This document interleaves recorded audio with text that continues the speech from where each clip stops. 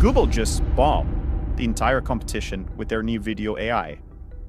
They released a research paper on their new AI video generator called Lumiere, and it's light years ahead of its competitors. How so? Well, first of all, their text to video results are getting really, really good.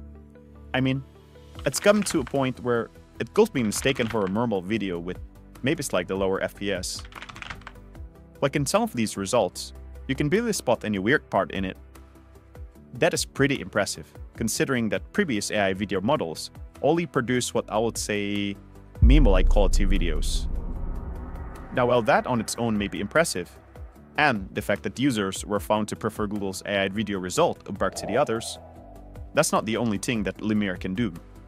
With stylized generation, you can input an image with a style that you like, and Lumiere will generate the videos based on that image's style. Like here it's showing various animals in the style of stickers, or in this flap illustration style, or in this black and blue style. This Gevno is something that will make graphic designers, video editor, and other creative jobs easier. Because instead of spending time in After Effects, you can just type whatever you want, and Miss AI will just create it for you. Another thing that can be useful to creatives is video stylization, where instead of inputting the images of a style, you input your original video, and the AI can turn it into whatever style you want. And as you can see from the example, it can turn the woman and dog drastically into various styles while keeping the background intact. It can also make cinematograph, in which only a certain part of the image moves like a video, and most of the image stays still. Here you can see that only water moves, while the sky in the background stays still. There's also an inpaint feature that allows you to change some parts of the view, like we can see how we can change the woman's dress to different color and styles. But Google isn't the only one jumping on the video AI generator. ByteDance, the company behind TikTok, also released a research paper on what they call MagicVideo-V2. Now this research also explored a method to generate video from text, and the results are surprisingly amazing. Like these videos right here. They have a very vivid-like quality to it. And their movements is very much natural. It very much looks like something that 3D artists will take hours to create, but now it can be easily done using AI. Now while Jetting adds visuals, its aim seems not to be a realistic video generator, but more that it has an interesting semi-realist style to it, and the motion seems to be quite smooth and dramatic.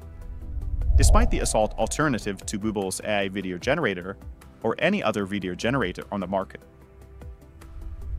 both of Google's and ByteDance AI products are still not accessible to the public yet, and we can only now see its results based on the research papers. But knowing that these are two tech giants with an established reputation, I think we can take their claim seriously. With all of these advancements in video AI, we may see a huge increase of content creators on video platforms such as YouTube, Instagram, or TikTok in the next few years. You may even have came across videos that uses AI in its production, whether it's the script it might be written by AI, images created by AI, voiceovers created in AI, or maybe all of that in one video. The technology is becoming better and better every day, though no, it's hard to distinguish them. And the good thing about it is that people have less and less barriers to create online. You don't have to own expensive cameras, or the best microphones, or any other gears advancements in AI have made it much easier for people to start their own business and content creation, and that can empower so many people around the world. Hi, thank you for watching until the end of this video, and if you like it, please like the video and subscribe for more videos like this. antalpha.ai is an AI platform where you can create digital avatar of yours and even create images using AI for free. Try it at antalpha.ai now.